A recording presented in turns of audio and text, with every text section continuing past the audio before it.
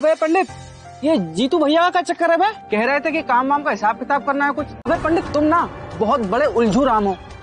सच बता रहे। अब क्या कर दिया बे।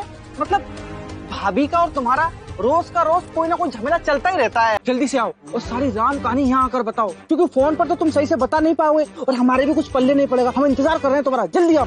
अरे यार पंडित हमको एक बात बताओ यार। भाभी को ज़्यादा उलझू है का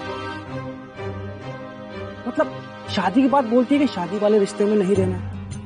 जब प्यार था तो तलाक मांग रही थी। और जब तलाक का मामला निपट गया तो घर में ये मुद्दा चालू हो गया। और जब ये मामला निपटा तो कहती है कि प्यार है, पत्नी भी है।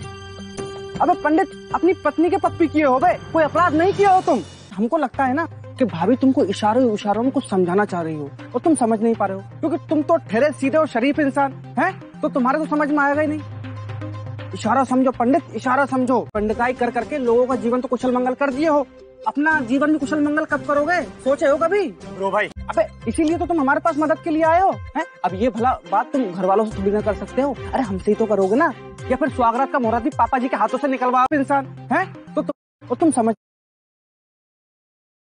ना चाह रही हो और तुम समझ नहीं पा रहे हो। ना चाह रही हो और तुम समझ